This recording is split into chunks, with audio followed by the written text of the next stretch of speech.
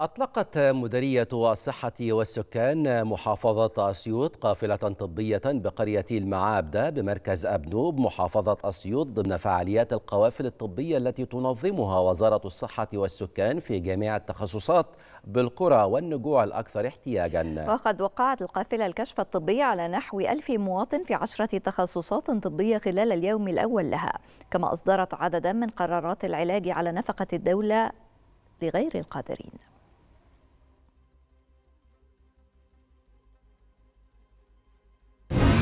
القوافل الطبية دي إحنا بنخدم في المناطق النائية عبارة عن مستشفى متنقل فيها كل التخصصات من بطنة وأطفال وجراحة. عندنا معمل طفيليات ومعمل الدم عندنا أشعة عندنا خدمة تنظيم الأسرة وخدمة برضو وخدمة الأسنان. إحنا هنا في القافلة الطبية في عرب الكلمات مبادرة حياه كريمة لسيادة الرئيس الصيدلية هنا بتحتوي على جميع الأدوية اللي بتغطي جميع التخصصات اللي بتعالجها القافلة.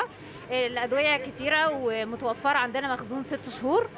مرحلة الصيدلية بيبقى في مرحلتين. مرحلة الصرف بيتأكد فيها الصيدلي من اكتمال كل البيانات بتاعة التذكرة علشان هو المرحلة الأخيرة الصيدلية هي المرحلة الأخيرة بتاعة المريض. فأي حاجة لو نسي تحليل نسي تحويل بيوجهه ليها وبعد كده بي بيصرف له العلاج وبيعلم له عليه بالقلم البيرمننت عشان يتأكد إن هو فهم الدواء كويس جدا.